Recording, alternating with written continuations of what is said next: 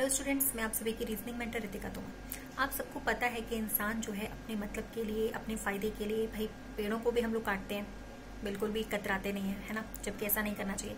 But आप लोगों को मैं एक अमेजिंग फैक्ट बताती हूँ, बहुत ही इंटरेस्टिंग सा फैक्ट है कि साउथ अफ्रीका के जंगलों में गाइज़ एक ट्री पाई जाती है, एक पेड़ ऐसा पाया जाता है जिसको अगर हम काटे, उसकी डाली को काटे या उसे मतलब हार्म करें उसकी शाखाओं को तो उसमें से एक रेड कलर का ब्लड निकलता है। उस ट्री का नाम होता है ड्रैगन ब्लड ट्री इसे मैजिकल ट्री भी कहा जाता है बच्चे। अगर आप लोग इसको सर्च करोगे तो आपको देखने को मिलेगा कि आपको जब आप इसे काटोगे, कुल्हाड़ी से जब इसको काटा जाएगा, इसकी टहनियों को तो उसमें से लाल कलर का रेड कलर का ब्लड निकलता है। इसको मैजिकल ट्री इसलिए कहते हैं क्योंकि इसमें से जो रेड कलर का ब्लड निकलता है, उसका इस्तेमाल बहुत सारी दवाइयाँ बनाने के लिए या इंसान को बहुत सारी जो बीमारियाँ होती हैं, उसको ठीक करने के लिए भी यूज़ किया जाता है।